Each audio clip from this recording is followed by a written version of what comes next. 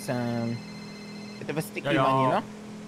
Yeah, I've just got back to the uh, the Grove Street house, and I'm I just robbed earlier today. thinking of firing up uh, firing up my TV and Yeah. just having a little having a little evening to myself. Wondered if you uh, had, uh, had seen anything decent recently that you could uh, recommend. Don't talk to him. Um, See if I can. Yeah, there's a couple things maybe. I like I was on uh, Netflix the other day, and uh, yeah, there was that saying it was coming out tonight. I think I'm pretty sure. It, what, like Uh, a new thing? Yeah, yeah, yeah. Like so? I don't know what it's called. It's like it was, it was saying like it's like it's like you're chewing the story or something. Um, it was like, like the the banner was like there's just these boys, a bunch of faces, you know, just sit there, and it was like black and white.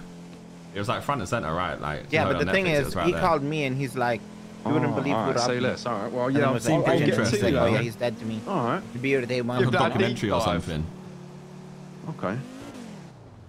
All right. I'll give It's that a British watch. as well, you know. So Oh, that's some right British up collective of Yeah, but like that's with, like- personalities or something.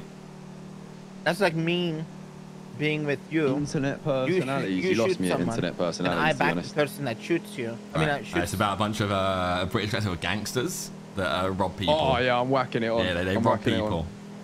but he I'm doesn't know that. You know. All right, Easy. booting up the telly. Yeah, Rob.